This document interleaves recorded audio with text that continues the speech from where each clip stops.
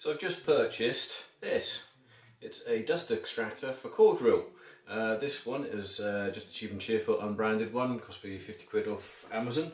This is a 117mm core drill and it fits in perfectly. I'm only going to be doing 100mm because that's the size for the ducting that I need to do and I'm going to be drilling through into Thermalite from what I recall so it shouldn't take too long but as we all know Thermalite is very dusty. So to try it to begin with, I've attached my vacuum on the end. I've had to use an adapter to make it fit, um, but let's see how it works, just sucking and holding onto the wall.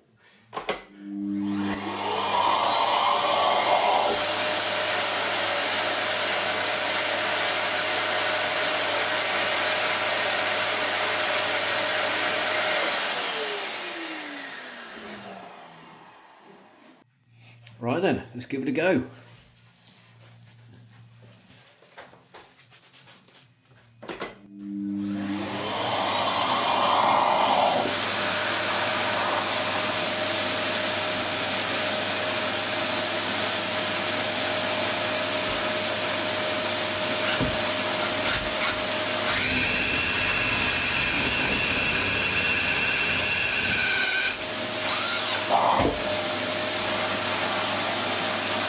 Gotta be careful that bit.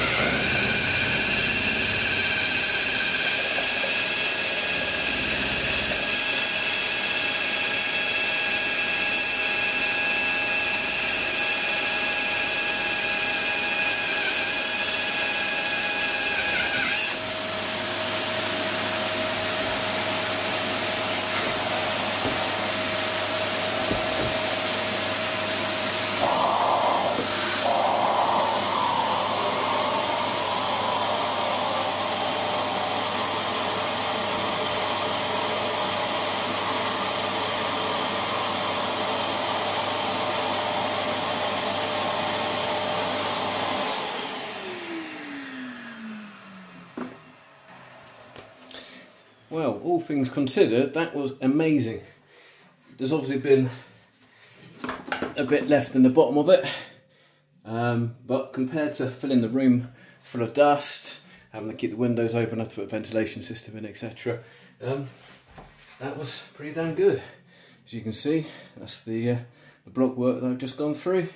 For what it's worth, I'm really glad I bought it, and uh, it's definitely going to be uh, one of the tools of my choice when it comes to core drilling. Um, one thing I would say though is uh, got to be careful between marking your holes when, when you do your pilot bits obviously you've got to take your core drill back out to pull the pilot drill bit out. As you notice when I did it it did pull the uh, the suction cap off the wall a bit. I wasn't aware it was going to do that but now I know. For all those interested to cut that hole out I used my Makita 40 volt XGT.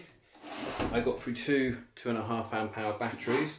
First one, as you can see, is uh, flashing dead, and the one that's currently on there, just one bar left in it. So maybe if I'd used the four amp hour, I could have done it in one hit.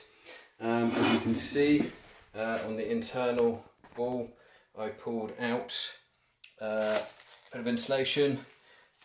That's the concrete block that I had to cut through, cut out. That's the Thermalite, obviously just the uh, bit of plasterboard, which is nothing. And there's the vacuum that I was using. If you've got any questions um, or any advice for, uh, for the future, uh, please let me know in the comments below. Thanks very much.